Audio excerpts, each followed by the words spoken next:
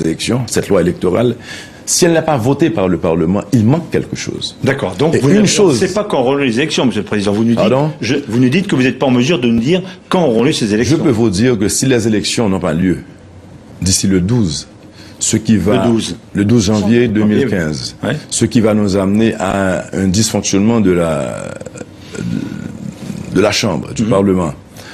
L'article 136 de la Constitution prévoit que le président est garant de la bonne marche des institutions.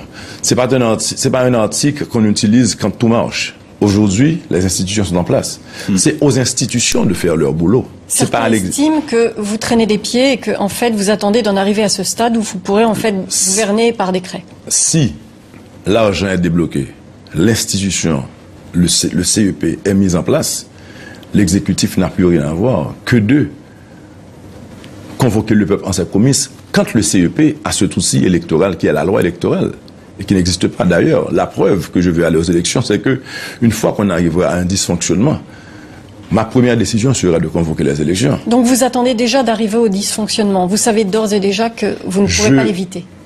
Je suis peut-être à mon quatrième dialogue avec tous les secteurs de la vie nationale. Est-ce que c'est un vrai dialogue? Un vrai dialogue. Un vrai dialogue. D'ailleurs, la preuve, on m'a demandé un gouvernement d'ouverture, j'ai envoyé des ministres, j'ai ouvert euh, à l'opposition. On m'a à chaque fois demandé un nouveau conseil, je l'ai fait. Euh... Donc, Michel Martelly, vous nous dites, si les élections n'ont pas lieu, je n'y peux rien en tant que président. Non. Et le moment venu, je les organiserai voilà. si on est en crise. Je n'y peux rien en ce moment. Parce qu'un pouvoir ne venait pas, c'est de forcer le Parlement à voter.